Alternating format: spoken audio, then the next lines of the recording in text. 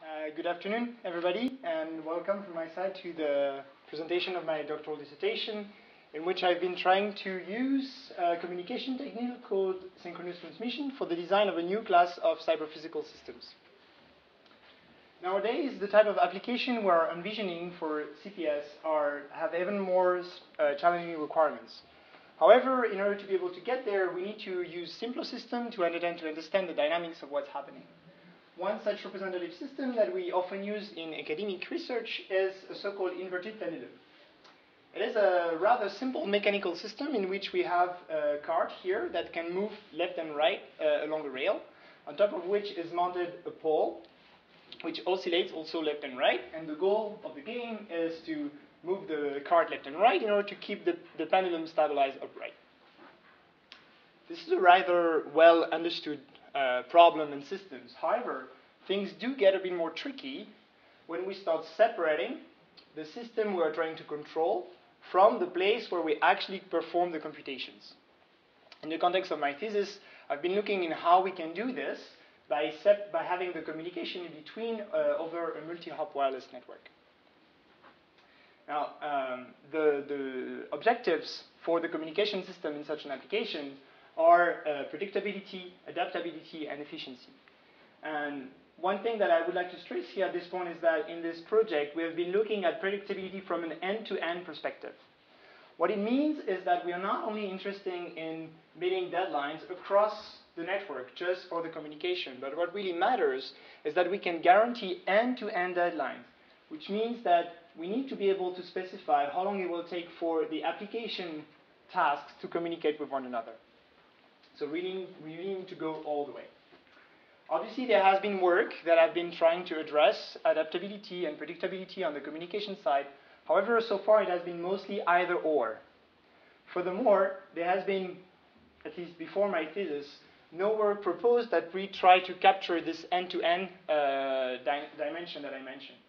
So the overall objective of my dissertation was to try to see if we could combine this end-to-end -end predictability, adaptability, and efficiency all together. So we have been trying out this, this, uh, this story example of trying to control inverted pendulums. And what you can see here is a network, a multi-hop network, uh, with one such pendulum on one side and a controller on the other side. And the first thing you can show is that indeed we have been able to uh, prove that we are able to safely stabilize one of the pendulum, even though the control is on the other side of the network. And it doesn't stop there. If we take this controller and then we start working around in the network, if you look carefully here, you'll see nothing at all. No difference whatsoever. What does that mean? it means that actually the performance of the system is completely independent on the mobility of the nodes. In this case, the mobility of the controller, but that will work for any other node in the network. From a communication side, this speed has been enabled by the use of this technique that we call synchronous transmission. And the overall claim of my thesis has been to prove, to show that indeed this technique is well suited for the design of real-time wireless cyber-physical systems. To be slightly more concrete, here are the things that I've, I've, been working on.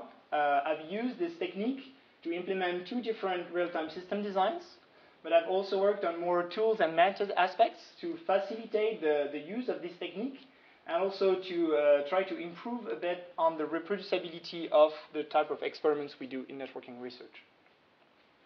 In the rest of this talk, I will try to sketch uh, some overview of, uh, of those contributions um, the first work uh, I, I, worked on was this protocol called DRP, which I don't have time to get into details. Instead, I will spend a bit more time talking about TTW, that stands for Time Triggered Wireless. Uh, that, as I mentioned, uses this technique of synchronous transmission, which is what? Right. I've been talking about that a bit, a lot. It's essentially a way of implementing a multi-hop broadcast a, uh, based on a flooding strategy. So roughly, the idea is that if one node sends a message, the message will propagate through the network in waves, looking a bit like that. There are quite a few tricks involved into getting this to work, uh, but believe me, it does. And when it does work, uh, what it enables us to do is to uh, abstract away the complexity of the multi-hop network and realize a one-to-hole communication or broadcast with very predictable timing.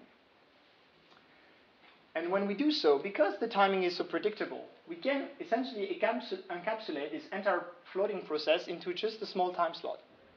And then we could do this over and over and realize communication in just independent time slots. And we know we can just consider that in with time slot, one node is able to communicate through the entire network. So we can encapsulate those time slots in rounds. And in between rounds, we're going to turn off all the radios in order to save energy. And this is going to be the typical way we're going to organize communication based on synchronous transmissions. So that's about the structure. Now, on top of the structure, how do you get predictability? Well, if you want to meet deadlines, you need to use real-time scheduling. What does real-time scheduling for communication looks like? You're going to have some messages with release times and deadlines. You can analyze your system and then schedule your rounds and then assign the messages to the round. Fair enough. But how do you get the message deadlines? Or the release times? You get them once you know when your tasks are being executed.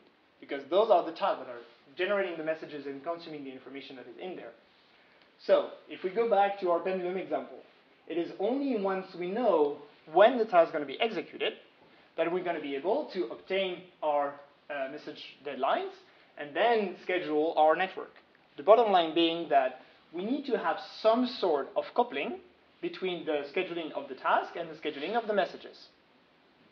This can be done in various ways, and in TTW we do this by statically co-scheduling all tasks and messages.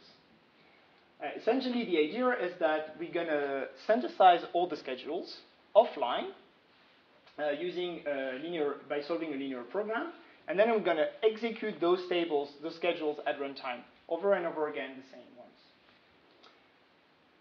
However, even though this is a classical and well-known technique, there are a few tricks involved into getting it right for our settings because we're using rounds, which implies that we have some constraints like this that needs to be uh, verified. Something like a message needs to be served in a round that finishes before the message deadline. Now, how would you formulate something like that? How would you formalize that? You could say something like the message deadline needs to be larger than the round j starting time plus the length of the round. But this should be true only if and when the, mode, the message i is assigned to the round j. However, here we have a slight issue is that both those things here are variables of our problem. So this constraint is nonlinear and is not something we can use directly in a linear program. So we found a trick to work around this issue and combine the rounds with uh, a, a, classical linear program, which is somehow inspired from network calculus, where the idea is to define functions that count for each message the number of instances that have been released, uh, have been served, and have passed their deadline. And the trick is that we can, using those functions, we can reformulate this nonlinear constraint into something that looks like this. And then if we look at how those functions are being defined, these are actually either a linear term or piecewise constant, and both those things are things that we know how to implement within a MILP. With, again, some tricks, but that's kind of commonly known. Good. So that gives us the predictability. However, the downside of a static schedule is that everything is static, right? Um, however, in the literature, there have been solutions proposed to deal and mitigate this, this limitation which typically is to use multiple operation rounds. So the idea is that the same system will have different tables and they'll switch between the different tables at runtime. Uh, in our case, what we were interested in is to try to uh, do this multi-mode case while being able to still meet deadlines across the mode changes. This again can be done in slightly different ways. And in TTW, we have tried to make this in order to limit the impact of the mode changes on the energy consumption for communication. Good. So in summary, this is a very fast view of how TTW is designed. But this is just a design. If we really want to solve our problem, we need to implement this design and to actually verify that it works. And it's precisely to facilitate this implementation task that we have worked on this uh, framework called Baloo. So the general idea about Baloo has been to try to, uh, trans to, to uh, transfer from a traditional approach we would have to implement such communication protocol based on synchronous transmission to something slightly more flexible. And the key idea uh, was to try to uh, decouple as much as possible the implementation of the protocol from the interaction with the radio. So we've, we've uh, made some design choices, we did that, and we've used this uh, framework to implement, for example, TTW. Then, once we have the framework implemented, what do we do? We go to the state of the performance evaluation. Now comes the tricky part. How would you evaluate the performance of your protocol? You run it once, you measure, you see how it works. Good. But is it really good? Like, how many times you actually need to measure in order to really be confident in your results? 10 times, 100 times, a million times? You don't really know, and it doesn't really tell you how much how confident you would be. And if you look in the general uh, literature, you would see that oh, research is trustworthy when the results are reproducible. But what does that mean for us? What does that mean reproducible for networking experiments? And it's precisely trying to answer those questions that we started to work on this uh, framework that we ended up calling TriScale. So, what is reproducibility? Informally, we could say that an experiment is reproducible if we can obtain the same results when we rerun the experiment under the same conditions. Now, the first issue we have is with the same conditions.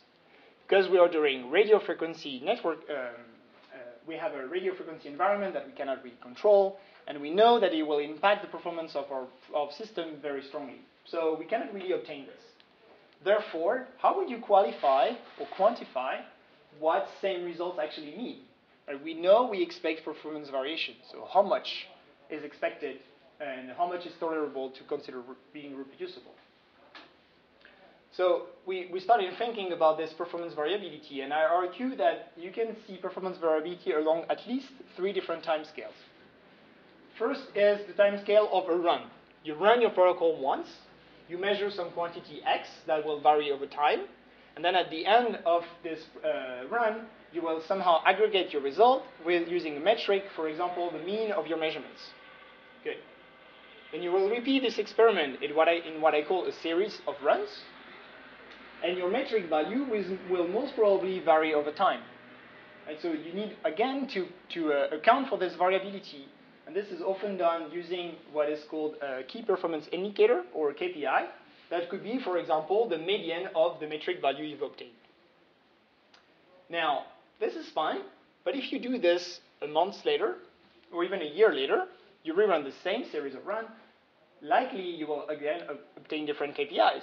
And if we think back of reproducibility, what we want is to be able to say we obtain the same thing under the same conditions.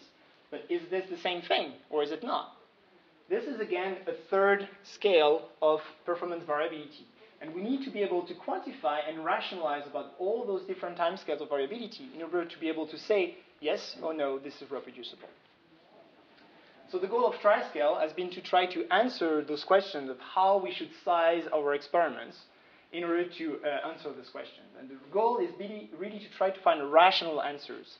That means that we want to be able to quantify the trade-off between how much effort I put in into my experiments and how much, how much confidence I get in the results. I'll give you an example on one of those questions, uh, how we answer uh, how many runs do we have in a series. Why do we run many runs? We do many runs because essentially based on a sample of metric values, we are trying to estimate the underlying distribution on which we want to compute some KPI. If we want to do this, because we, we will never know the complete distribution, we will never be 100% sure where the median actually is. We only have the samples. To do, to do this estimation, we need to use something called confidence intervals. Uh, to give you an example, if I say that AB is a 95% confidence interval for the median on some quantity x, it means that the true value of the median of the distribution of x, which I don't know, is between A and B with a probability which is at least as large as 95%. Uh, this probability here is what is called the confidence level. Now, what KPI should we use? Uh, two KPIs that are often used in, in, in literature are the mean and the standard deviation. And the reason we use them is because they are very convenient to estimate the underlying distribution of the data we're studying. But do they really? Well, they would only if we knew for sure that the underlying distribution of the data is normal. And the sad thing is, we never know whether the data is normal or not, and actually there are a lot of evidence that show that the networking experiment data is not normally distributed. And we anyway don't know, and have no way of knowing. So we should not use that, because this, this gives us no information about the shape of the distribution. So instead, what TriScale recommends is to use uh, percentiles as KPI. And the reason we propose to use the percentiles is that because there exist non-parametric methods that allow to compute those confidence interval we are aiming for to, uh, to do our estimations. I don't really have time to go in the detail of how the, the method works, but the most important thing is that this method gives us a relation between the minimal number of samples we need and the estimation of any uh, percentile at any confidence level. Which means that I can say, for example, I want to estimate the first percentile of my distribution with this level of probability, and that gives me a minimal number of runs of at least about 300. So that's the direct, this is how we, we build um, a rational answer, or provide a rational answer to the question. Now, concretely, how would we apply this methodology in practice? If we look again at our TTW example, we have a model of the round, how long the round takes. And we, this model should be both safe, so that the rounds do not overrun, and it should be tight so that we don't waste too much uh, bandwidth. We don't waste too much time in our schedule. So as metric, we could use, for example, the maximum measured time for the round across all the nodes in the network during a run. And then as KPI, you take a high percentile and a high confidence level. And then you do, you run the math. You say, okay, I need a minimal of 60 runs in order to obtain this confidence level for that percentile. And you run the experiments. So we've done this for uh, some parameters of the model. You obtain the distribution of the metric values. Here is the KPI, and here is the model value. And you see that indeed, the KPI is smaller than the model, so the bound is safe. And if you look at the numerical values, they are actually very close to one another. So we're also quite tight. And obviously, we've tried this for a larger range of parameters, and we observe similar um, uh, results in, in all the cases. So the bottom line is that by following this methodology, here is the exact claim we can make. We can say that with 95% confidence, the maximum runtime will be smaller than the model value in at least 95% of the cases. What about the 5% that are left? We don't really know. We can have ideas and hypotheses, but we cannot claim anything about them. But we can claim something about the other 95%. Good. Uh, to conclude on TriScale, uh, we have implemented this methodology into a framework that provides all the tools, uh, statistical method, and, and, support to, to be practical, as practical as possible uh, to use for the experimenters. And with that, um, I would like, this concludes already the very short overview of the different contributions that I've made in my thesis. At this point, I would like to mention that uh, all the work that has been done uh, the code produced and the data collected is openly available, and you can find uh, all the links in the dissertation. And I'm left with uh, big thanks to uh, all the people that I've been working with during all this time. Uh, I'm happy to see quite a few of them in the room today. I also would like to thank my wife, my friends, and my parents that also remind me that life is not just work. There are also a few fun things to do beside that. So thank you very, very much uh, to all of you. That concludes my presentation.